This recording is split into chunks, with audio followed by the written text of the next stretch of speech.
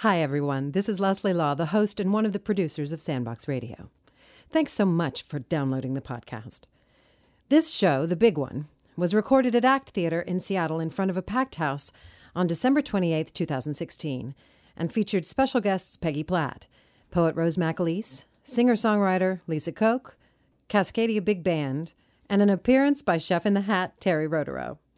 Sandbox Radio is made possible by the generous financial support of listeners like you. We've got some great stuff coming up for the 2016 season, and every penny you give goes directly to creating the show. It's easy to make a tax deductible donation at our website. Thank you so much. Well, we had such a fantastic time doing this episode. Let's get to it, shall we? Here it is Sandbox Radio, the big one. Sandbox Radio.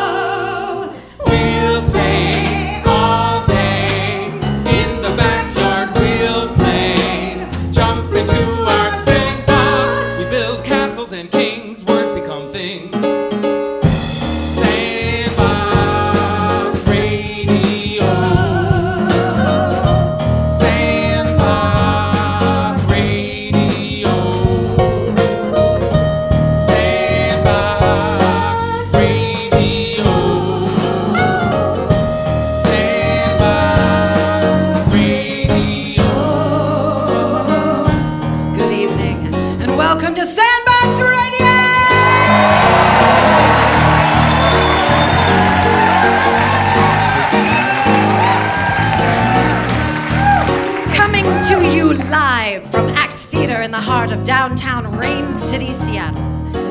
Coming up in the show tonight, Sandbox Radio The Big One presents original work by Scot Augustson and Juliet Waller Pruzan. Wayne Rawley's Holiday Noir, Christmas Town! Special guests, Peggy Platt. Poet Rose McAleese. Singer-songwriter Lisa Koch. And the Cascadia Big Band.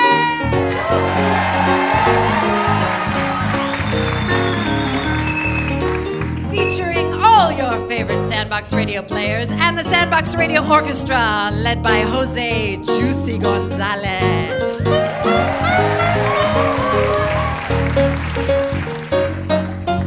So,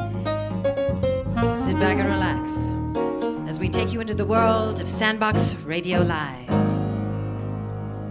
Sandbox Radio.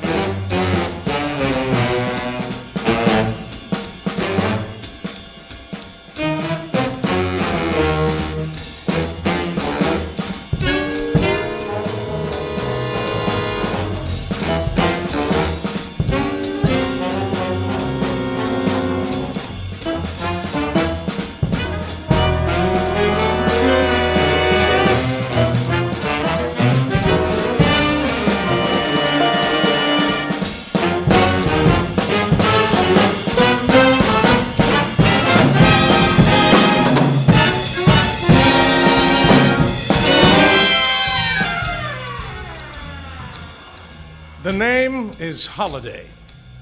Nick Holiday. And trust me, I'm no saint. But if you can pay me half up front, most eves I can probably find what you are looking for. Unless, of course, what you are looking for is comfort or joy. Then you are on your own, because me, I work in Christmas Town. Around here, every night is the night before. But underneath all them twinkling lights, at least two things are always stirring stiff drinks and trouble. Are you Nick Holiday, Private Eye? I turned around and there she was. a drop dead gorgeous elf. Her legs weren't that long, but where they went made sense.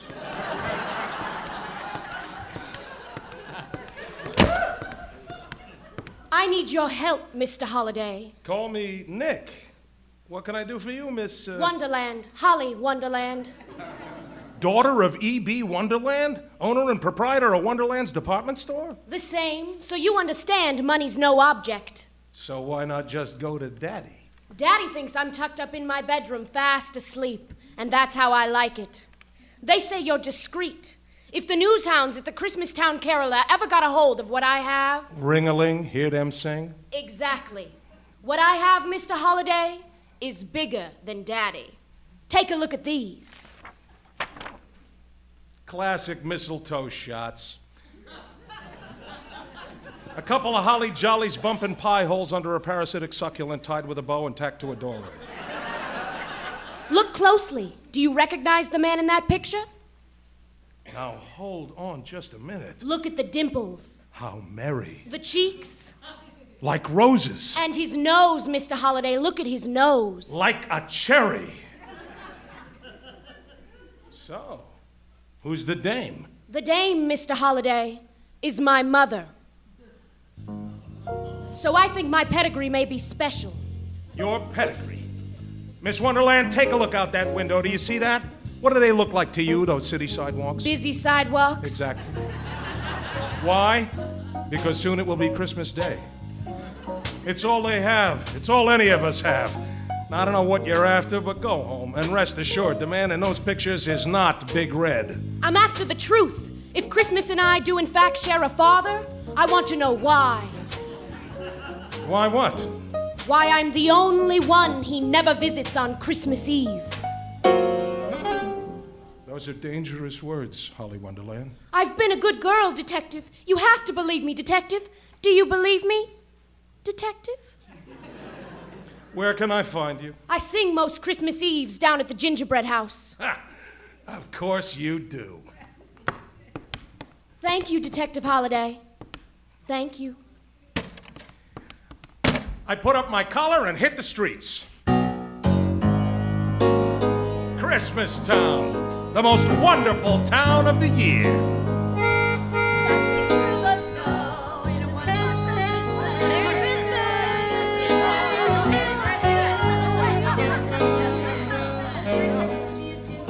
It didn't add up. If anyone had access to Big Red, it would be the Wonderland family.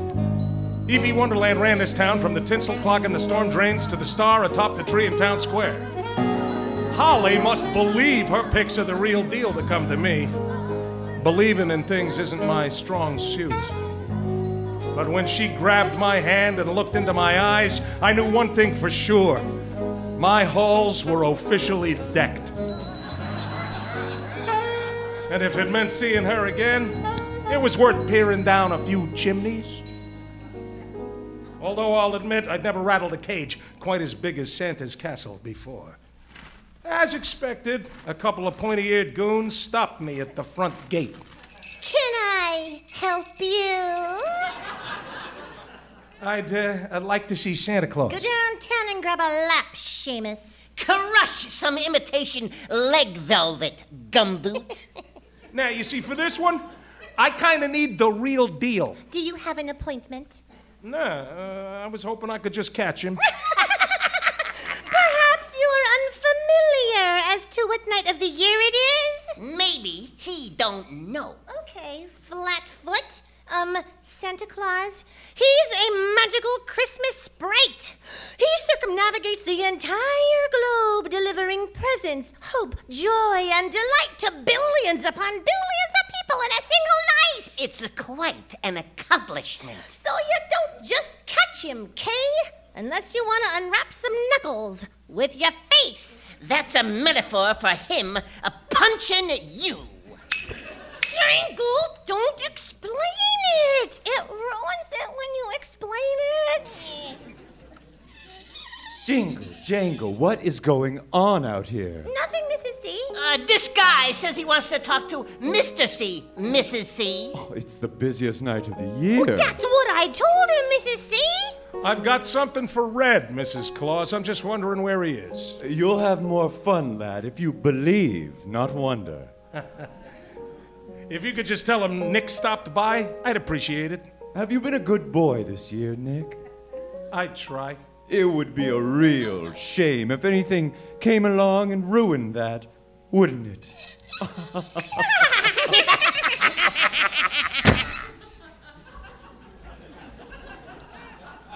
It's not every night you get Mrs. C herself to come out of the castle, smile, pat you on the head, and make thinly veiled threats against your well being. Something wasn't right here on the upper north side. I listened at the gate. No little tin horns. No little toy drums. No Rudy Toot Toots. No rummy tum tums. This castle was as cold as a Christmas turducken on the back of a vegetarian's walk in. Well, well, well. You always did wait until the last minute to do your shopping, didn't you, Nick Holiday? Virginia Ribbons, crack reporter for the Christmastown Caroler. I should have known she'd hear the quiet too. You working a case, Nicky? What makes you think that, Ginny? You're sober and dressed. Same old Ginny. Did you hear? E.B. Wonderland called a meeting today. A big meeting. The city council, the mayor, and Big Red, too. Only get this he didn't show. It's the busiest night of the year. Big Red didn't show, Nick. And no one knows where he is. Word on the street is he's gone, Nick. Flown the snow. I think you'd better tread lightly on this story, Virginia, for now. We used to make one Yule of a team, Nick. It is good to see you again, Ginny. How about now? A little less now. See you in the wrapping papers, Nick.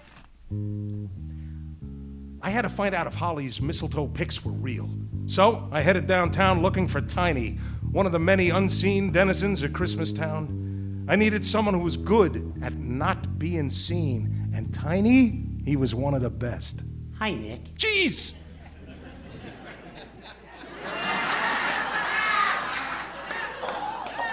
How do you do that, Tiny?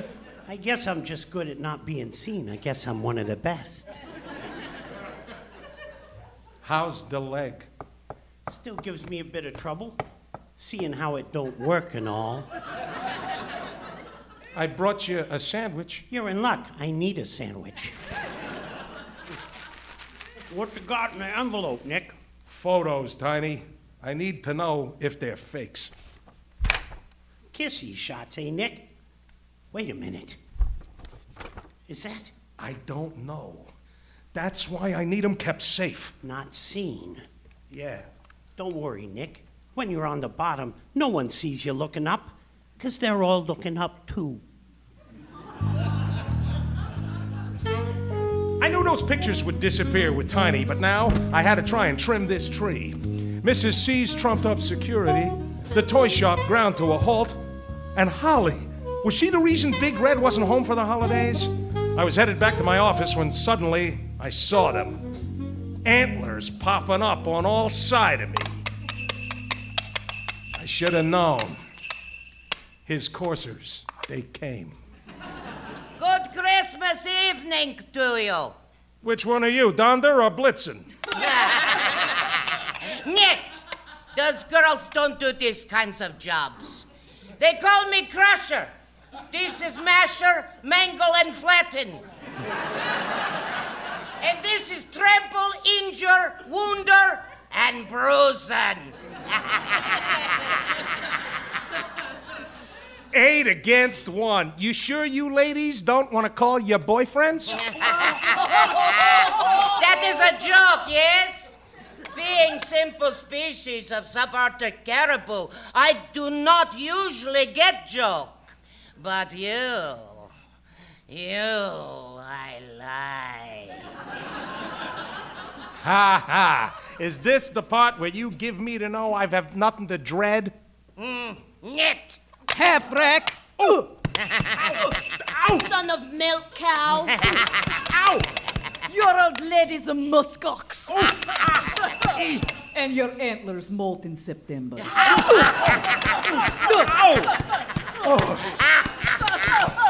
You have something we want. I got bad news. You don't have?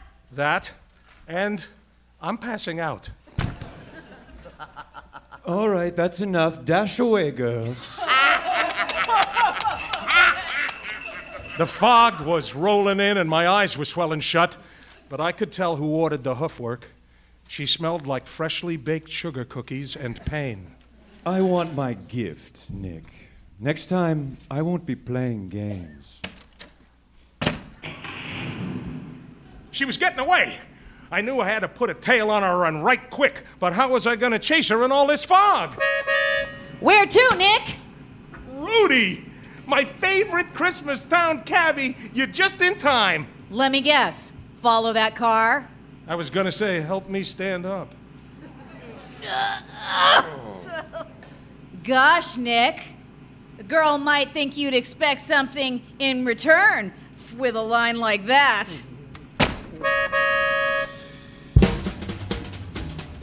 Hey, try not to get blood on the upholstery.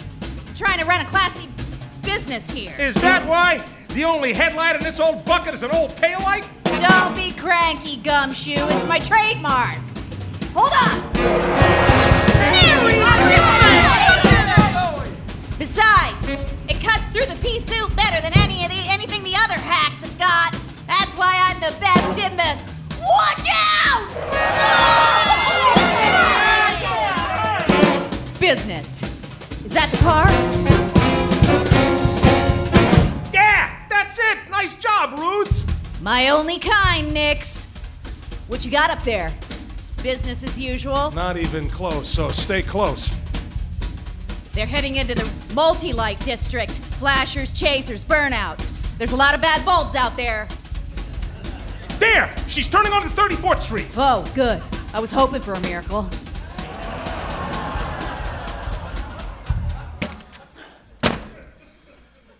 The gingerbread house.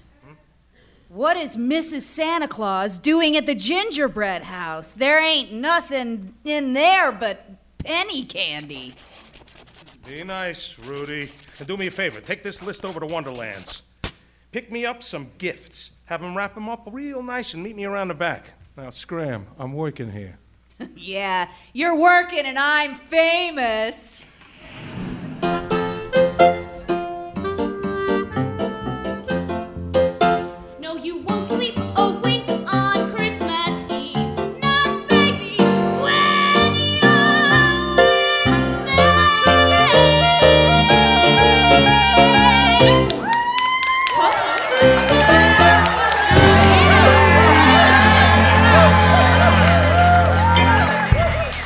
On stage, Holly Wonderland was wild and free, like an elf who finally found her toy shop. I found her dressing room, but she wasn't alone, so I hung back. Puff out your pastries all you like, dearie. Where are those pictures? I don't know what you're talking about. Our entire way of life revolves around the idea that a man can be as good, selfless, kind, and giving as he is. I will not let you sully that because being a Wonderland isn't exciting enough for you. I don't want Daddy's money. Do you know what happens to a cookie that stays inside a hot oven too long? It burns. Try not to let the door sweeten your ass on the way out. Merry Christmas, Miss Wonderland. Mr. Holiday, You were terrific up there. I'm terrific everywhere, Nick. Would you like a drink? I sure could use one. What happened to your face? I got laughed at and called names. I thought you were going. Thought you were going to be discreet. Red's not in the castle, Holly. I've changed my mind, Detective. Give me the pictures back. I'll pay you in full, of course. Of course. Suddenly, you don't want my help. Every minute you have them, you're in terrible danger. And you can take your gifts. I can't accept them. That's okay, Holly. They're for the kids downstairs. How do you know about them? I used to walk a beat down here, remember? I used to look in on the girls in the orphanage. Still a baker's dozen worth of street urchins under our feet? More than that. The gingerbread girls won't turn anyone away. They take 'em in, give 'em a bed, give 'em a hot meal, and keep 'em off the frost. Tell me something, Holly. Does Big Red ever visit them? No, and I don't know why. Huh.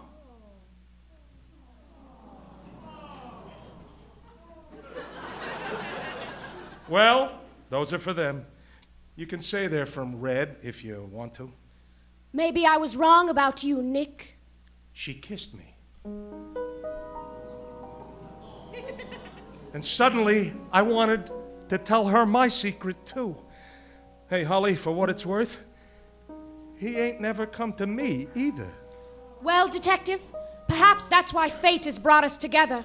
We must be the only two people in Christmas Town who've never received a visit.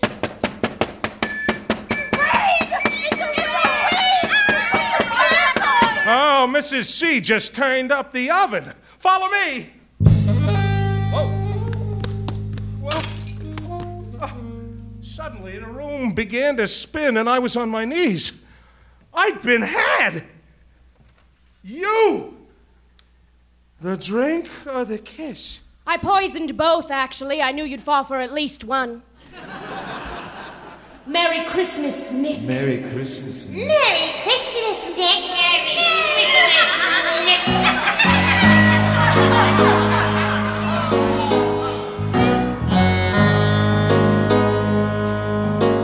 Stay tuned for the conclusion of Christmas Town by Wayne Rawley.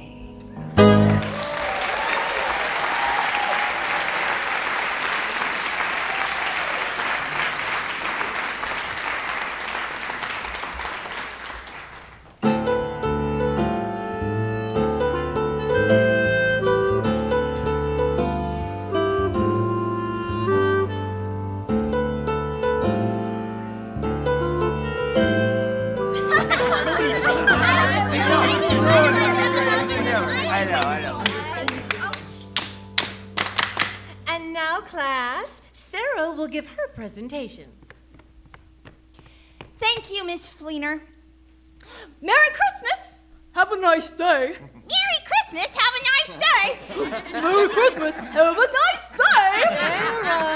Sorry, Miss Fleener, but in mere moments, this will all make sense. Just keep it appropriate, Sarah. Of course.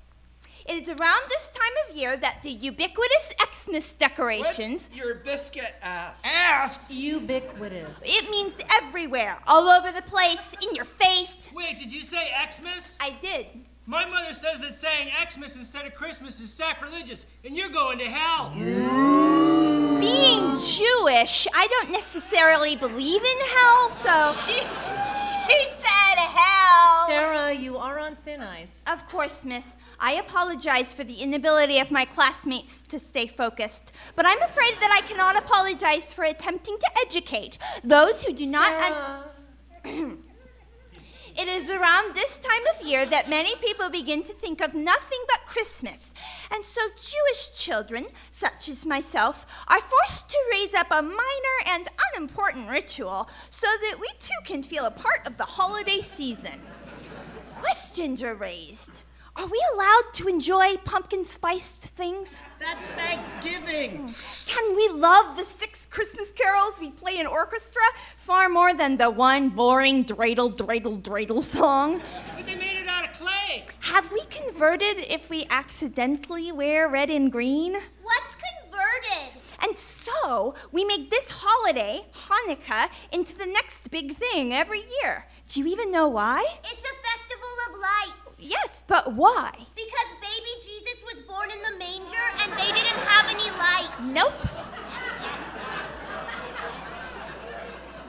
Who cares? You're lucky. Why?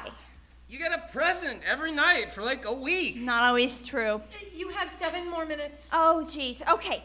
Dear class, my presentation is on the story of Hanukkah. Once upon a time, a long, long time ago, there was a Greek king who ruled Syria. Why didn't he rule Greece? Have you not heard the expression, it's all Greek to me? So? It was all Greek to them. End of story. Can we go to recess? No, no, not really. End of story. For I have enlisted fellow classmates to help act out the story for further erudition. Actors? Here are your scripts. Lights up. I am King Artichokes. Uh, Antiochus. Antiochus. Antiochus. Antiochus. I am King Antiochus. I rule all this land and all that land. I am a Greek who rules much, but yet I am not satisfied. We are the people of Judea. I bring you many new gods to worship. No thanks. What? No thanks. My many gods are way better than your one god. We're okay. No, you're not. You gotta worship this guy, uh, Zeus. Bless you. This is not a joke. Oh. You people of Judea are stupid butt faces, and so I will kill you. Sarah, I am serious. Oh, well, it's okay. They didn't kill everyone. I'm still alive. Plus, now we're getting to the good part. And now I will storm your temple. I'm gonna destroy this and this. And look at this cool candelabra. Not the menorah. It's never been unlit. Oh, and this special oil that's all blessed and can't be opened, I'm gonna pour it on the floor. And just for fun, I'm gonna let some pigs run around. Come on, seriously? Somebody help us!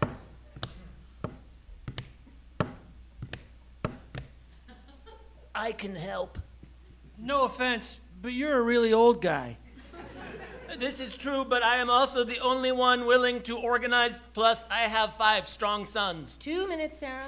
Okay, uh, I'll, I'll have to skip ahead a bit. So, the old guy, Mattathias, he went into the woods with his five strong sons and some other people, and then they made a plan, and then he died. Who? Uh, the old guy, pay attention. So, one of his sons got put in charge because he had the best name Judah Maccabee. I am Judah the Maccabee, and you can call me Judah Maccabee. I will pull together an army and fight and fight the soldiers.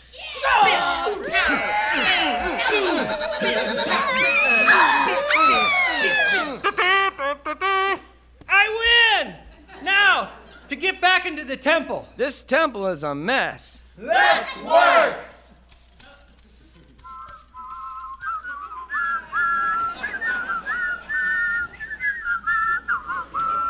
And I have repaired the menorah. Yay! But there is no unspoiled oil with which to light it. What shall we do? Judah, I have found one tiny bit of oil and it is fully unadulterated. Good work, child.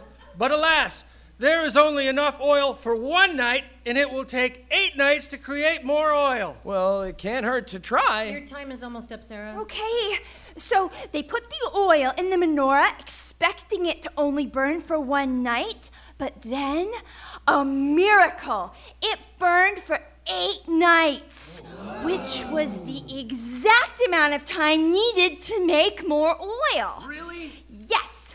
And now we light candles on the special menorah, one for each night for eight nights. The end. Any questions? Do we get cookies? No. Cookies are for Christmas because even after all this, I cannot dispute the fact that everything about Christmas is just a little bit sweeter. But I have invited my upstairs neighbor to help prepare and serve the traditional Hanukkah food. Bonjour, chef.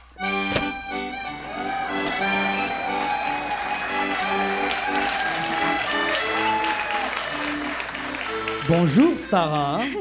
Ladies and gentlemen, this is my neighbor, Chef Thierry Rautureau, a Frenchman who loves to cook and always wears a hat. And if there's anything the French know how to do, it's fry potatoes in oil. With lots of butter.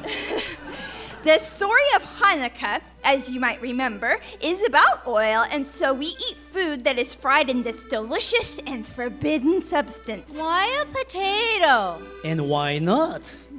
Oh, how much time do we have, Miss Fleener? Well, truth be told, I was hurrying you along so that I could dismiss you to recess a bit early.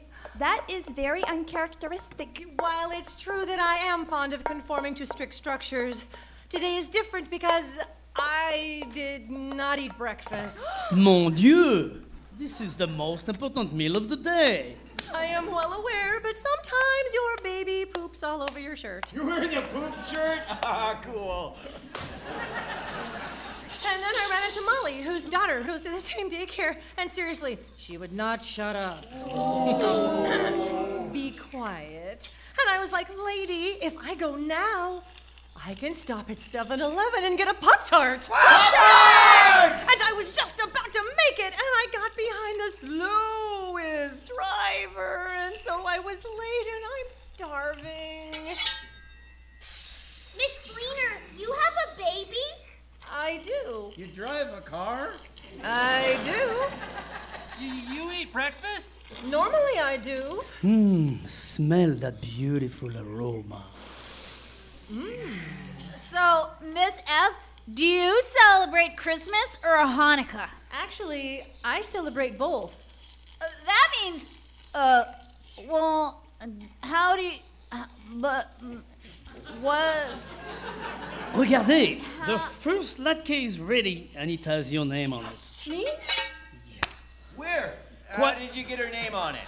Quiet, mes petits enfants, quiet. This is a secret and I shall never reveal. Pie a lit high with applesauce and sour cream. Don't mind if I do. Looks like a latke is in a hat. Wonders will never cease. Hmm. Happy holidays, everyone.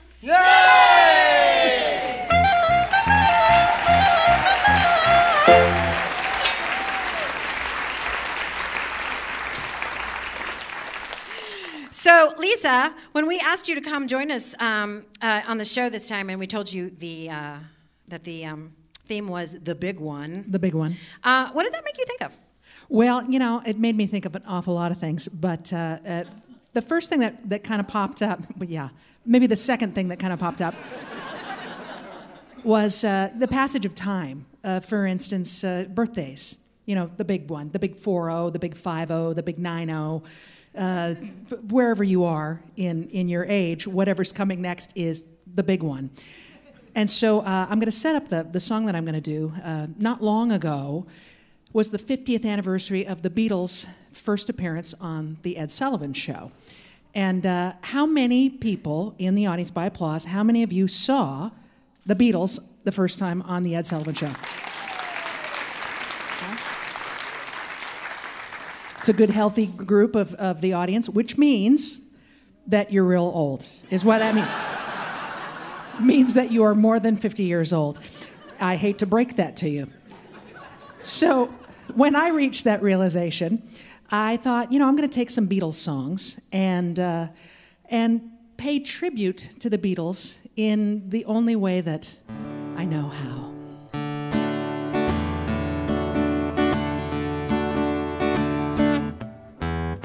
When I get older, gray in my hair, that would be right now.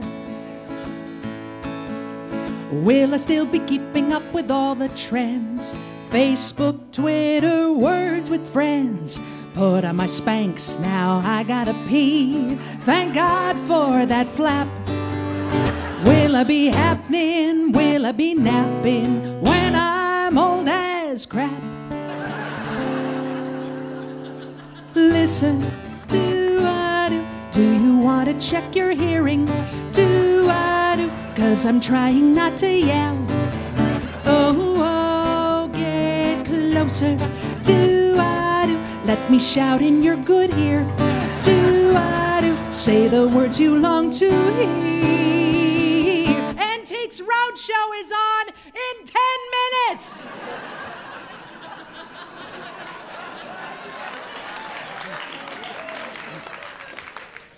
There are places I remember. No, sorry.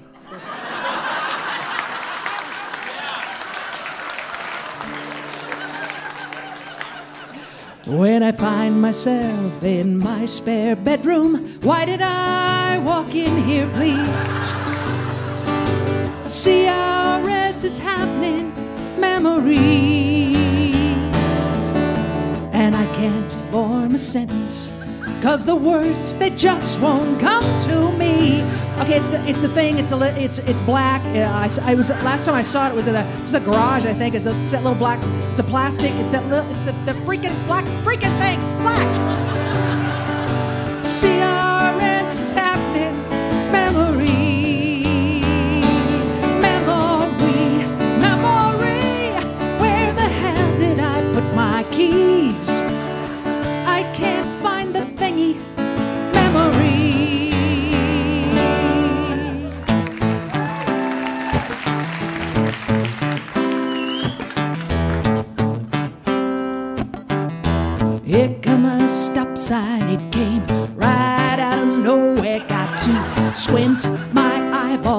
lenses, multifocal, and my night vision sucks indeed.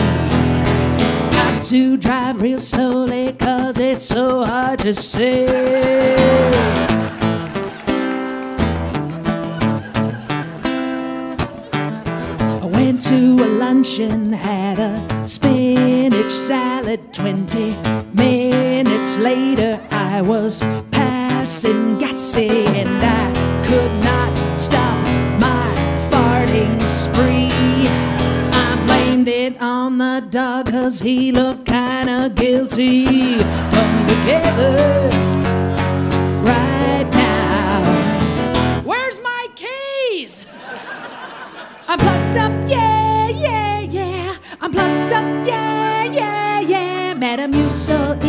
Best friend every night. These next two songs were not written by me, they were written by a very funny woman named Pam Peterson of the Boomer Babes. This is about her friend, Ellen. Ellen's a pygmy. She used to be five foot seven or right in that range. Till she went through the change. Then she had bone loss. She's four foot two and continues to grow in reverse. What is this curse? Osteoporosis. How does she reach the shelf? Osteoporosis.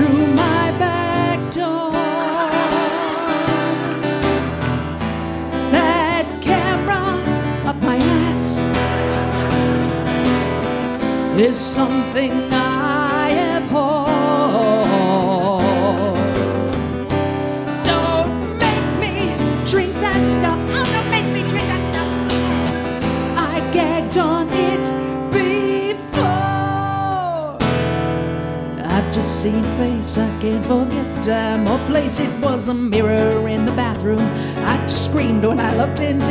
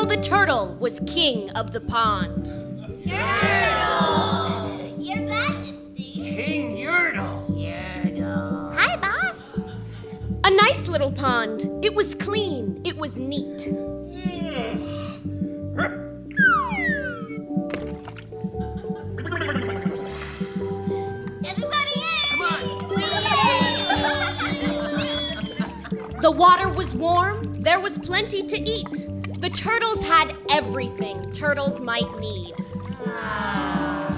And they were all happy, quite happy indeed. They were.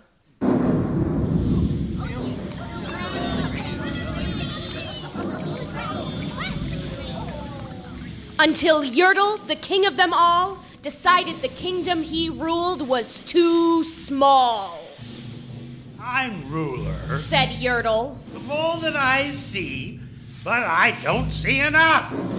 That's the trouble with me, with this stone for a throne. I look down on my pond, but I cannot look down on the places beyond. This throne that I sit on is too, too low down. It ought to be higher. He said with a frown. If I could sit high, how much greater I'd be! What a king! I'd be ruler of all that I see. So Yertle the Turtle King lifted his hand, and Yertle the Turtle King gave a command. He ordered nine turtles to swim to his stone, and using these turtles, he built a new throne. He made each turtle stand on another one's back.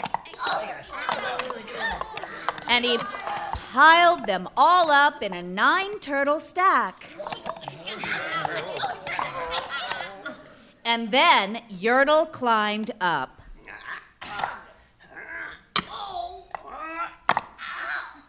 He sat down on the pile. What a wonderful view! He could see most a mile. Oh, mine! Yertle cried. Oh, the things I now rule. I'm the king of a cow. I'm the king of a mule. Yay. I'm the king of a house. And what's more, beyond that, I'm the king of a blueberry bush and a cat. I'm Yertle the turtle. Oh, marvelous me, for I am the ruler of all that I see. And all through the morning, he sat up there high, saying over and over. Great king am I. Until long about noon. Then he heard a faint sigh. Ah. What's that? Snapped the king. And he looked down the stack and he saw at the bottom a turtle named Mac. Just a part of his throne. And this plain little turtle looked up and he said, Beg your pardon, King Yertle. I've pains in my back and my shoulders and knees. How long must we stand here, Your Majesty, please? Silence! The king of the turtles barked back. I'm king, and you're only a turtle named. Uh, Mac. You stay in your place while I sit here and rule. I'm king of a cow. I'm king of a mule. I'm the king of a house and a bush and a cat. But that isn't all. I'll do better than that. My throne shall be higher. His royal voice thundered. Oh, pile up more turtles. I want about 200 turtles. More turtles. He bellowed and brayed, and the turtles way down in the pond were afraid. They trembled, they shook, but they came, they obeyed. From all over the pond, they came swimming by dozens, whole families of turtles with uncles and cousins, and all of them stepped on the head of poor Mac. Ow! Ouch! Oh!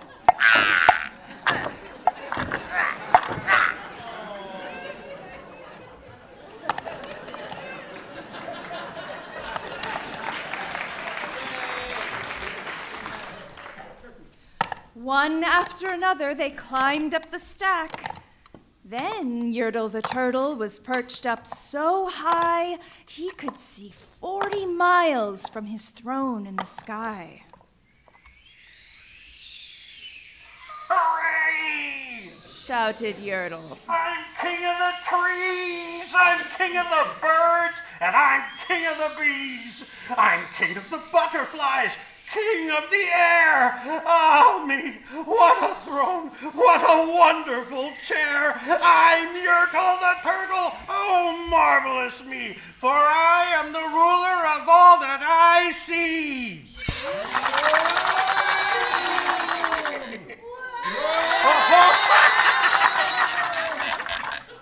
Then again, from below in the great heavy stack, came a groan from that plain little turtle named Mac. Your Majesty, please. I don't like to complain, but down here below we are feeling such pain. I know up on top you are seeing great sights, but down here at the bottom we too should have rights. We turtles can't stand it. Our shells will all crack. Besides, we need food. We are starving. groaned. Mac. You hush up your mouth! Howled the mighty King Yertle. You've no right to talk to the world's highest turtle. I rule from the clouds. Over land, over sea, there's nothing, no nothing that's higher than me. But while he was shouting, he saw with surprise that the moon of the evening was starting to rise up over his head in the darkening skies.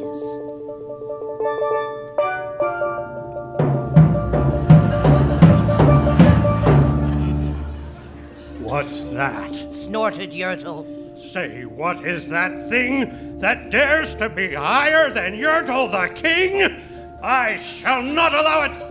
I'll go higher still. I'll build my throne higher. I can and I will. I'll call some more turtles. I'll stack them to heaven. I need about 5,607. But as Yertle the Turtle King lifted his hand and started to order and give the command, That plain little turtle below in the stack, that plain little turtle whose name was just Mac. Decided he'd taken enough, and he had. And that plain little lad got a little bit mad. And that plain little Mac did a plain little thing. He burped. And his burp shook the throne of the king.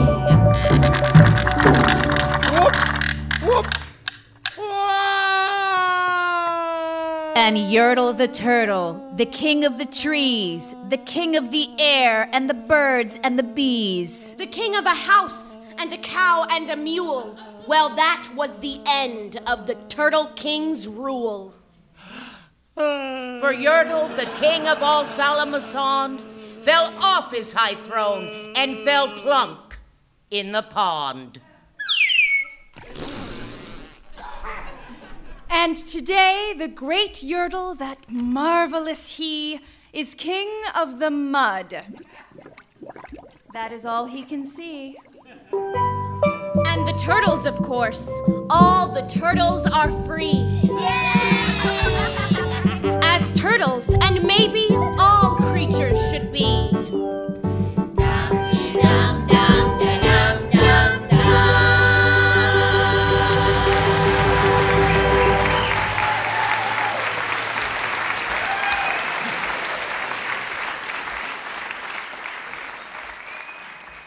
You're listening to Sandbox Radio. Find the podcast of our shows in iTunes and Stitcher, and help other people find us by taking a moment to leave a rating or review, if you would. Follow us on Facebook and Twitter for the latest news on our upcoming live shows. Now let's get back to the big one.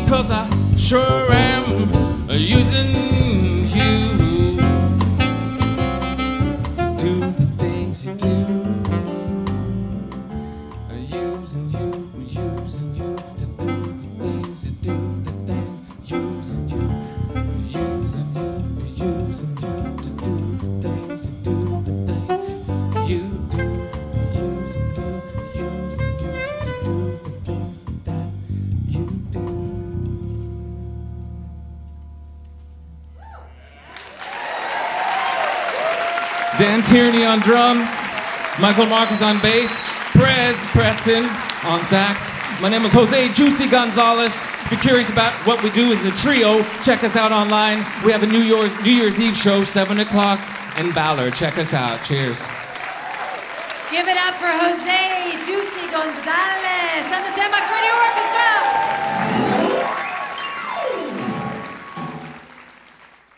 And now, a personal message. I've been concerned that cynical Seattle is spending too much time Bertha bashing. Big Bertha is, after all, one of a kind. She is the largest, most expensive, most repaired drill in history. She is the great blue whale of drills, the big one. Slowly, she moves through the rock as the great sea mammal moves through the sea, silently. O- okay, not silently and not moving.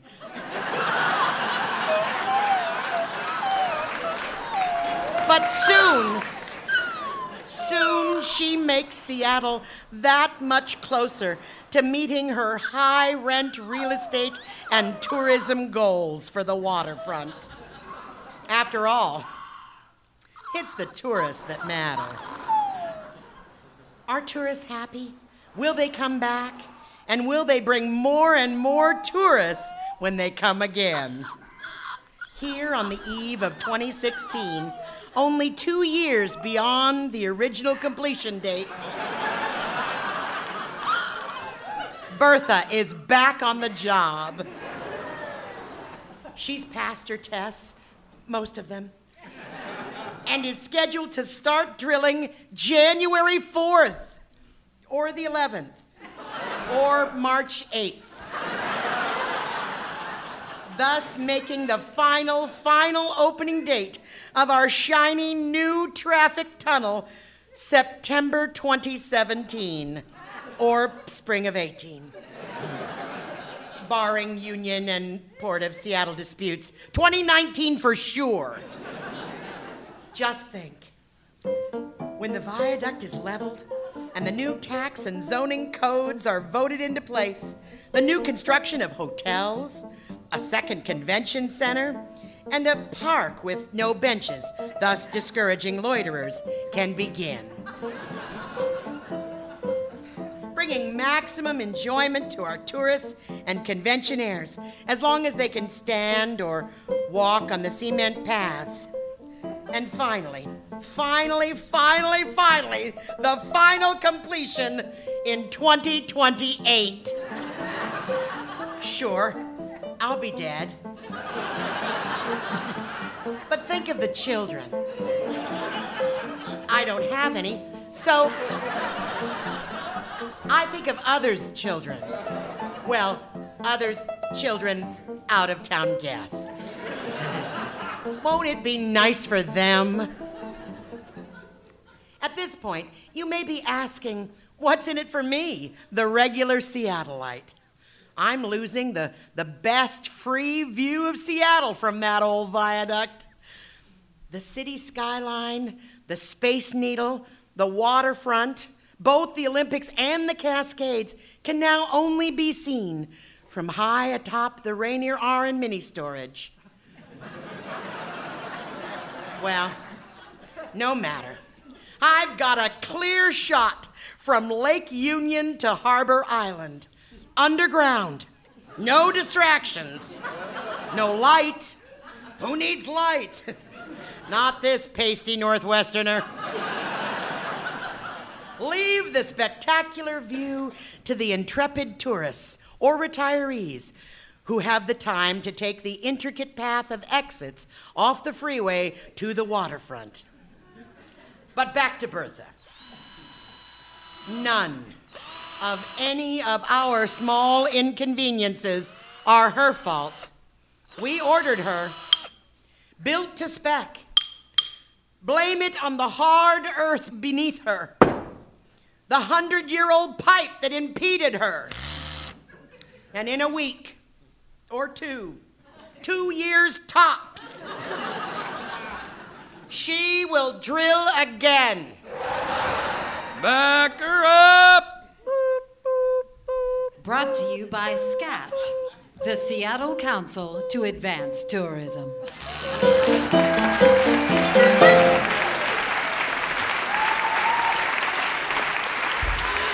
Platt!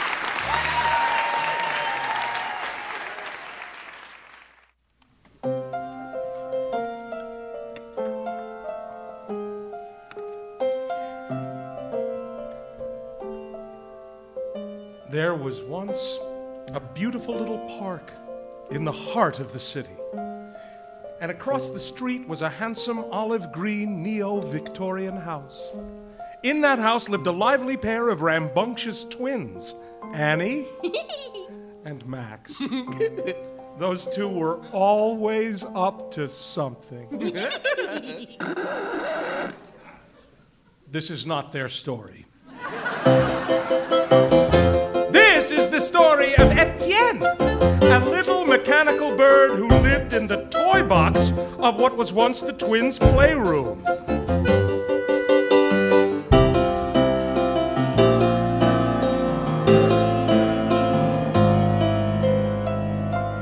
One windy Wednesday, Etienne perched next to his best friend, Azure the elephant.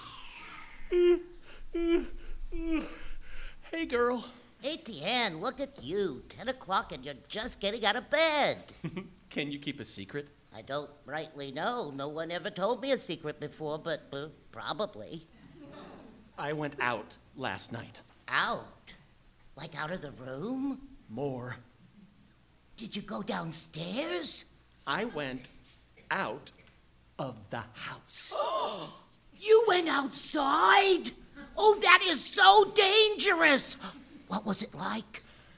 It's big. I've heard that. oh, but Etienne, what would have happened if you had wound down? They they would have been no one to turn your key. You'd have just laid there forever. I learned how to wind myself up. Watch.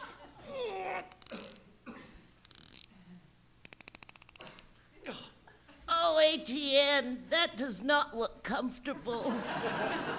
It's a little awkward, but worth it. Oh, Azure, I went to a bar A bar? called the Feathered Friend. So it was a bird bar? Yeah. And it was, well, it was a gay bird bar. Oh, was it? Yeah. So you're. uh, Yeah. Were you scared to go into the bar? A little. What are you having? Uh, just a fermented mulberry, please. Booze? I tucked myself into a corner. I was sure everyone could hear my gears ticking and I would be found out as a sham, a beastly clockwork monstrosity. Excuse me, is anyone sitting here? Oh, uh, no. Thanks. I'm not very good with big flocks. Me neither. My name's Reno. Etienne. You're a sapsucker, right? I am. I'm usually a warbler man, but damn if you're not the sexiest sapsucker I've ever seen. Oh, God. Did I just say that? I'm sorry. I'm not used to drinking. Can't seem to keep my beak shut. Uh, uh huh. I, uh, don't recognize your species. Oh. I'm a dusky seaside sparrow. Say that again. Dusky seaside sparrow. Once more? You deaf? No. I hear perfectly. It's just. I love hearing you say that. Dusky seaside sparrow? It's poetry. Etienne, Yes, Reno? want to get out of here? Just find a quiet branch somewhere and talk? I'd like that. I gotta warn you, I've been sort of lonely lately and I might make a pass at you. I think I'm cool with that. And so you guys talked? Yeah. About what? You know, just squawked about little stuff. You like to peck seed? Oh, yeah. I'm a big seed pecker. Me too. I can just peck and peck and peck the day away. I'm known as a big pecker. I've always been fascinated by Hummers. The way they can just hover and drink that red stuff. When I was a chick, I tried so hard to hover like that. I beat my wings until they almost fell off. My mom was getting worried about how much wing beating I was doing. Never came close to hovering. Where were you hatched? Huh? Hatched? Is that the point where you told them you were hatched in a factory in the Philippines? Oh, Azure, I tried, but. Oh, you're a migratory. Don't really know your home tree? Yeah, sort of. That's one way to put it. Oh, all this chitter chatter. At some point, you did tell him you aren't real, right? I'm as real as you are. I may be real, but I'm not a real elephant. And you're not a real bird. Oh, Azure, I tried to tell him. Oh, Etienne. Hey, Etienne! Yeah, Reno? Tick tock. what? It's getting late. Oh. Let's skip the courtship ritual and fool around. Okay. I hope this isn't weird, but I'd like to keep my shirt on. That's okay. I'm self conscious about my tummy. Oh, you're, you've got nothing to be self conscious about. You have the breast of a Thanksgiving turkey. I feel like I have an emu belly. He said emu belly? Yeah, so cute. How was the sex? well, let's just say Polly got her cracker. That good? We preened. Oh, dear. Afterwards, he held me in his wings. Oh, my clockwork friend, I'm worried. Worried about what? That he'll break your mechanical heart. Azure, you don't know what you're talking about. But I do.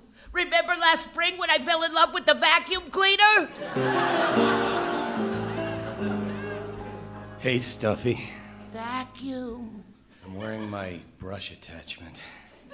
Is your bag fresh? Just changed it. It's empty. And he would wrap his hose around my trunk and his cord around my tail. Together we scared the dog. And I thought it was love. Azure, I know. So great until I walked into the hall closet that day. I thought I'd surprise him. Oh, yeah. Yeah, baby. Vacuum? What? Huh? Elephant, what, what are you doing here? I told you not to come here. He wasn't alone. Who's that? He was with the broom. What's a toy doing downstairs? And the mop. At the same time. And they weren't cleaning. Stuffy, I, I can explain. Azure, it's not gonna be like that with Reno and me. I hope not. I'm gonna see him tonight. Good luck. I don't need luck. I have love. Like I said, good luck. That night, Etienne wound himself up tight and flew the coop. Etienne! Reno. So, this is my tree. Ooh, it's maple. I love hardwood.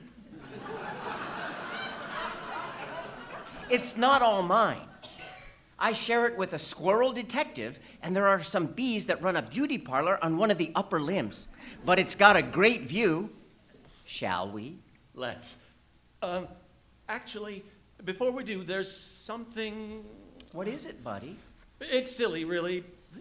But here's the thing. Do you feel that? Yeah. What the? An earthquake! Run! It's the big one! Oh, oh, oh, oh! has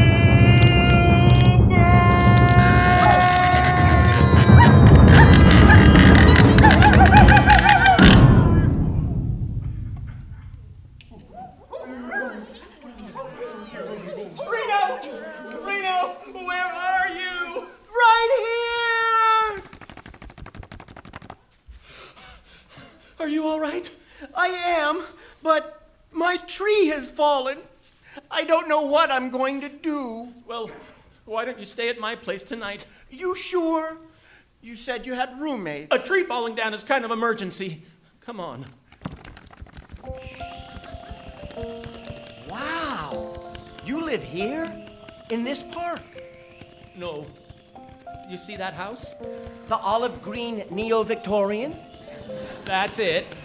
You live in the backyard? No. Oh, under the eaves. That can be cozy. Reno, I live. I live in the house. What are you saying? That you're some kind of pet?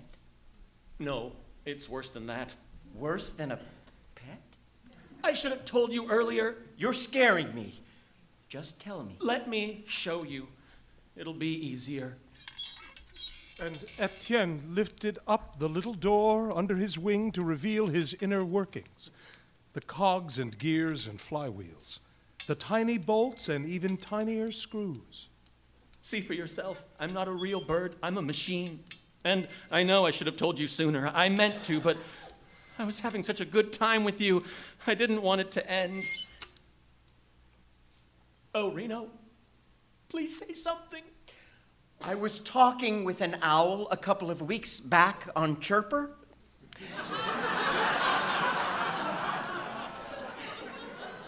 and he said something that stuck with me.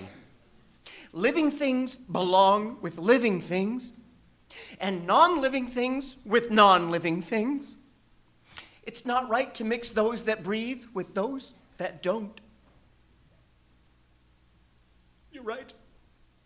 I was fooling myself that it could work. It was really great meeting you, and I'm sorry. Etienne, stop! Don't tell me what to do! Do you remember when we met? Yeah, it was yesterday. You said you didn't recognize my species. Uh huh. That's because the dusky seaside sparrow is extinct. What? And when I kept my shirt on, Because you were embarrassed about your tummy. it's not because I'm chubby. It's this. And Reno Sparrow lifted up his shirt. Stitches? You had an operation? No, I'm, uh, taxidermy. Oh. I'm not a real bird either. So we can be together. I think we're stuck with each other. Oh, Azure is gonna love this. What? That I've hooked up with a stuffed animal. Well, someday you'll rust and moths will eat me down to my stuffing. But until then, let's share a roost. I love you, you fake bird. Right back at you, robot.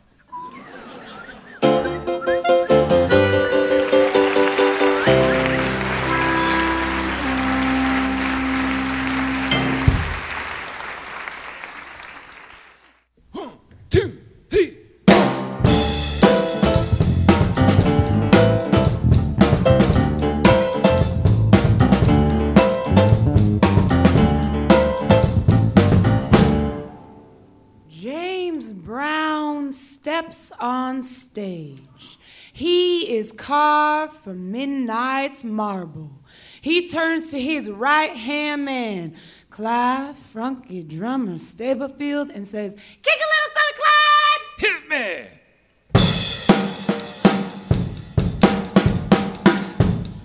Clyde, bursting from his rhythm and blues, drums with such ease, like God told him to play, like he was God playing the drums.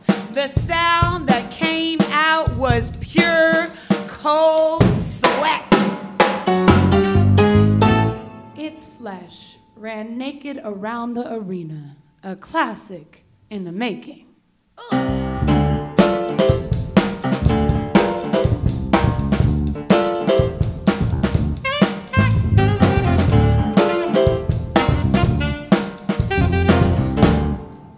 Skips, the record skips, and hip hop shows up late, but looks good.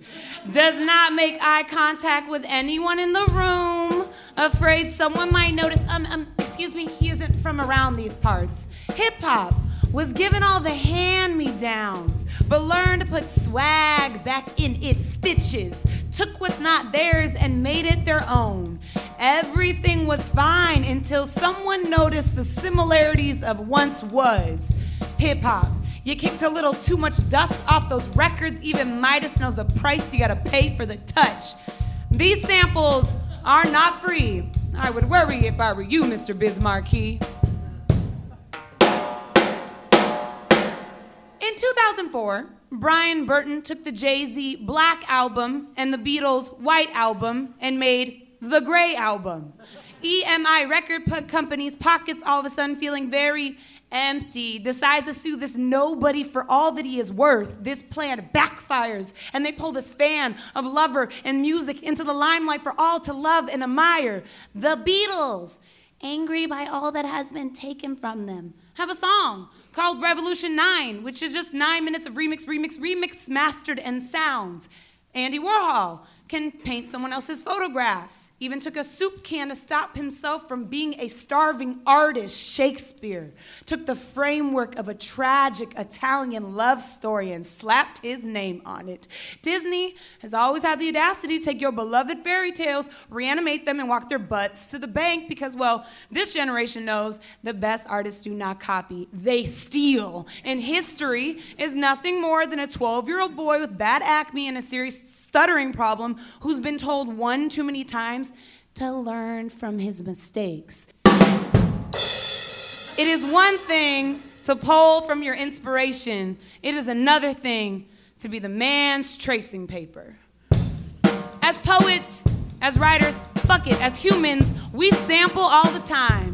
Sample like ribcage, advice your grandmother once gave you, or the weight of Atlas. Nothing is holy, nothing is sacred. However, she be respected, recognized, and thanked. This evening, Clyde Funky drummer Stubblefield is doing me the honor of playing my outro, a sample of all my favorite Kanye West, pardon me, Frankenstein's tunes. Clyde, whose own original sound has been copied on a hundred different songs, has yet to see a penny.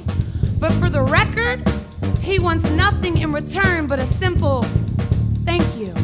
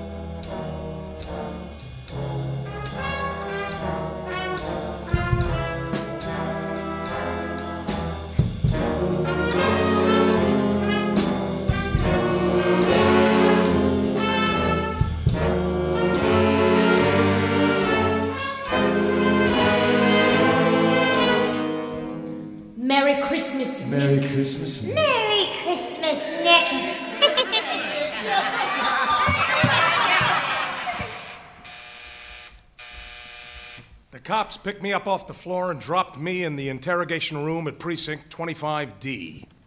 The hottest seat in Christmastown. Oh, all right, Holiday, sit up straight and listen. We think we may have a missing persons case on our hands, a kind of big one. Oh, come on, Lieutenant Nice.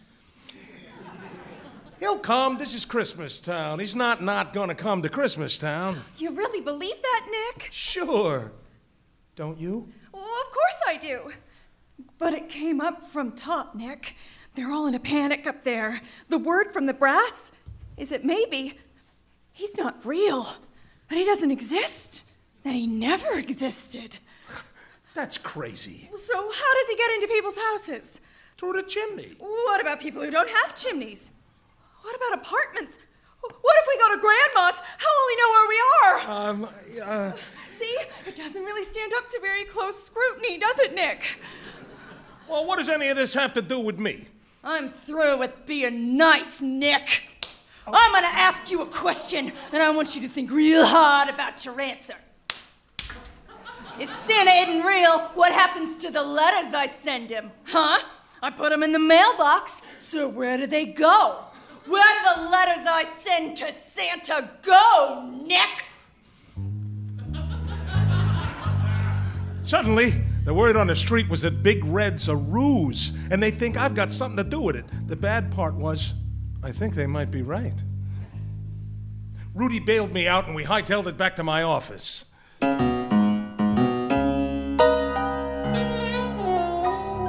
Ransacked!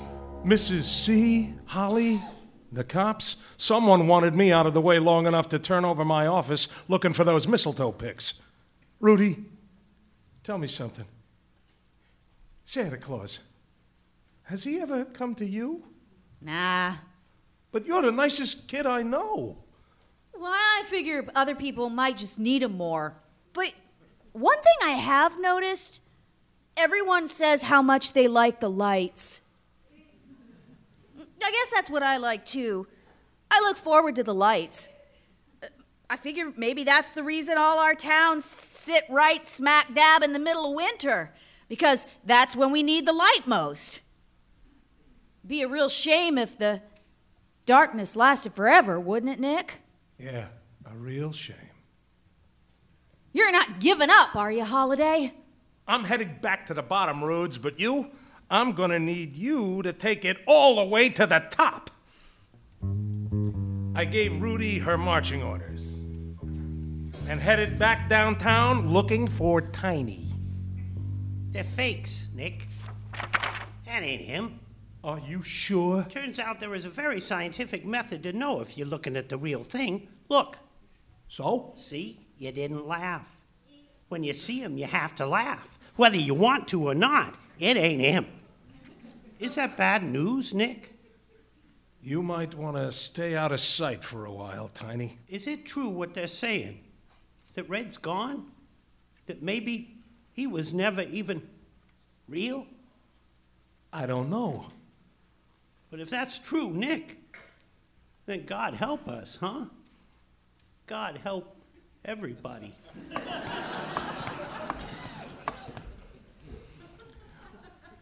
Why don't you come out, Holly, into the light?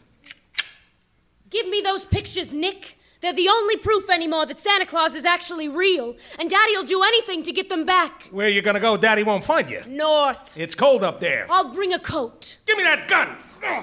Mm. No bullets. I've worked with better femme fatales, Holly. Let me go! Daddy says that Red's not real. He's going to tell everybody that he's never been real. I've got to find him, Nick, please. He's all we've got, all any of us has got. are you laughing at me, Nick? Why are you laughing at me? I said I was gonna help you. Thing is, now I think you actually need it. Well, isn't this sweet? Hand him over, Holiday. It's no good, Virginia. The pictures are fake. So what?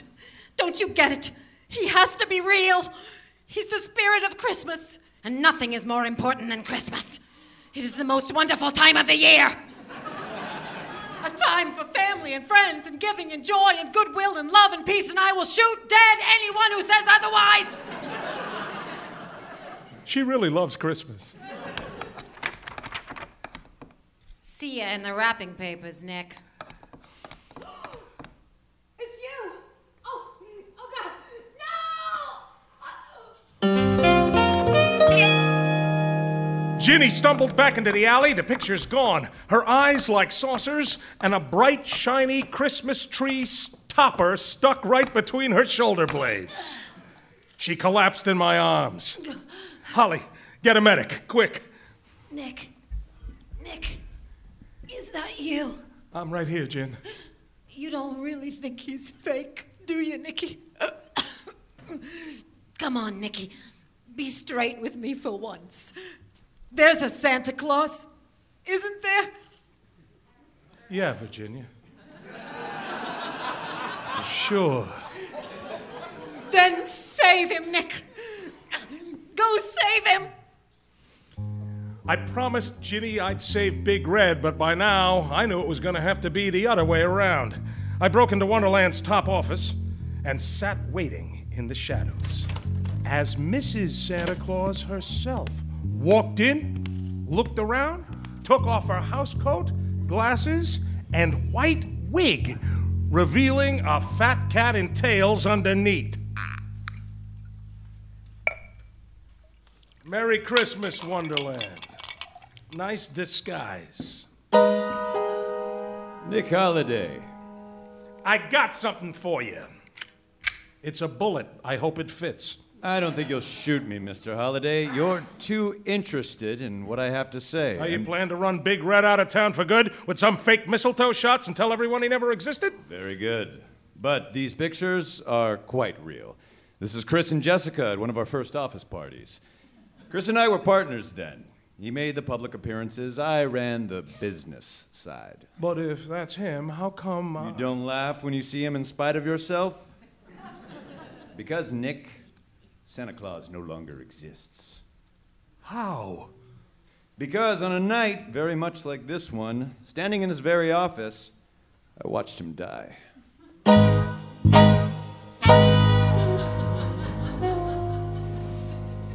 Wonderland and Kringles was taking off, you see, but Chris refused to charge for his side of things. Started giving rambling speeches at shareholder meetings about the true meaning of Christmas. So I went to the board. Then I met him here to let him know we'd no longer be requiring his services. We argued. He ran at me, caught his foot on the desk, and his bowl full of jelly carried him right through that window down 20 stories to the courtyard below. But the people would know the next eve when Santa didn't come. That's what I thought. But nothing happened. No one dared mention that Santa hadn't actually come to him. They kept right on believing, and they kept right on buying. You don't care about those pictures. It isn't the man you're worried about, it's what he means to people. That's why you leaked Big Red being a fake to the press. You're planning to shut the whole thing down. Shut it down? Dash it all, man. I'm trying to save it. Look outside. Those children laughing, those people passing. Who do you think keeps that going? I do. And despite all that I do deep in their hearts, they feel it that there may be something more. And they put all that good into red. And you think getting rid of red for good will get rid of it. Forget about it, Nick. It's Christmas Town. What is that? I got some bad news for you, Wonderland. Santa Claus is real. What are you talking about? Maybe you could push Santa Claus out a window, but the true meaning? It just went underground. It's under the gingerbread house, in the back alleys. It even gave me a ride in its busted down old cab. Big Red is all over this town. He's been waiting, looking for someone to take the reins. No. Yeah. You hear that? It's not possible. Santa's not just coming to town, Wonderland. He's coming for you. No! Only difference is it's not a he, it's a she.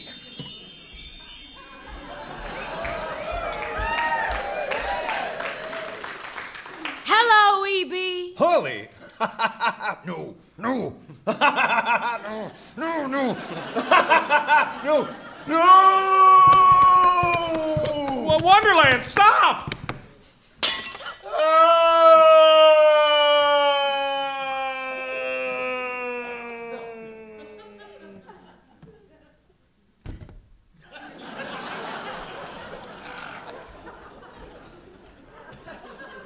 I was hoping he'd spill his guts, but not like that. Come with me, Nick. Where are we going? Hold my hand. Next thing I know, I find myself looking out over the twinkling lights at Christmas Town, the most wonderful town of the year. When I was down there, I thought I was the only one Santa Claus never came to. Turns out the whole town shared the same dirty secret. But from up here, I had to admit it did look kind of wonderful. Look at me, Nick. I turned around, and there she was again. Only this time, she was dressed all in fur from her head to her foot, and I knew in a moment exactly who she was eyes, dimples, cheeks, nose, lips, the works. So I did the only thing I could do in a moment like that.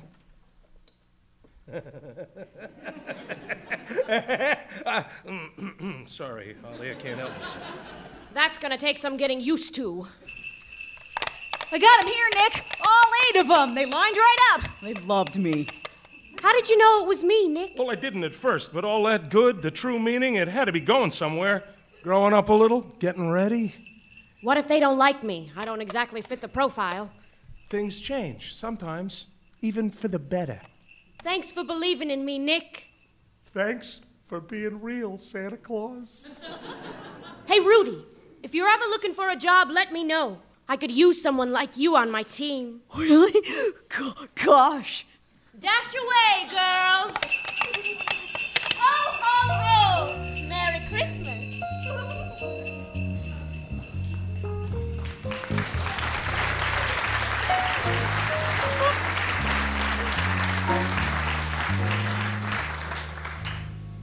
Happy holidays, Mr. Holiday. Happy holidays, Rudy. Someone a whole lot smarter than me once said, Darkness is cheap, and Scrooge liked it. Funny thing about darkness, though, it can't last. Eventually, the light always comes back. You can call it what you want. Around here, we call her Christmas. And when she comes to town, I think we'll be ready. We've been getting ready for a long, long time. Maybe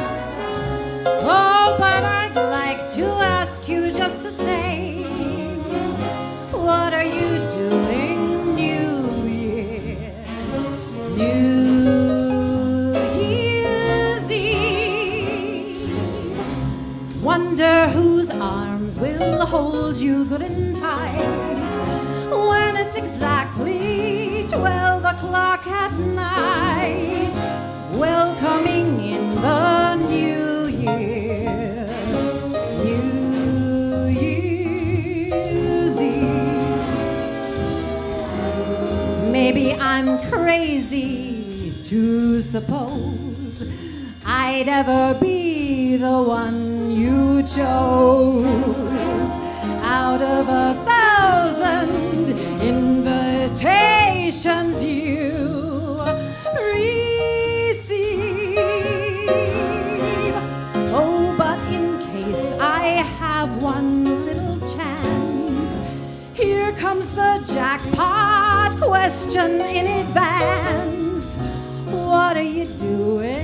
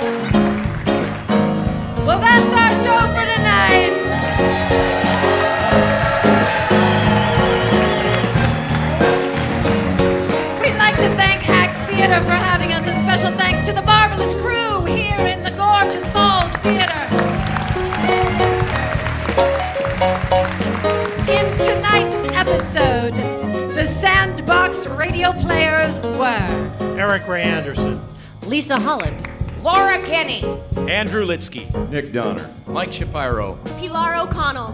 Rebecca Olson. Bama Roger. Peggy Platt. Sean John Walsh. Richard Ziman. And I'm Leslie Law, your host. and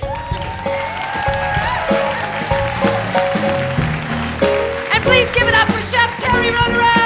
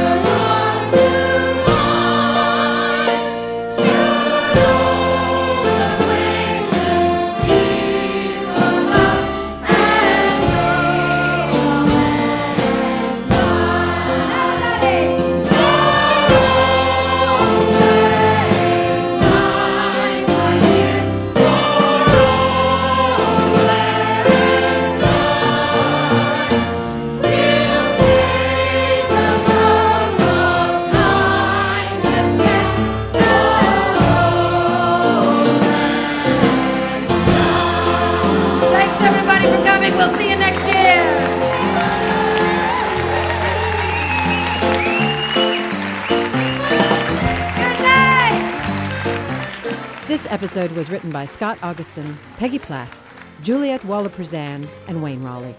Yertle the Turtle by Dr. Seuss was adapted for the episode by Sandbox Radio producer Richard Ziman. The show was sound engineered by Brendan Hogan, recorded by Brian Moynihan, and this podcast was mixed by Dave Pascal. Find Lisa Koch online at heylisa.com and keep up with poet Rose McAleese at rosemcaleese.com. That's R O S E M C A L E E S E.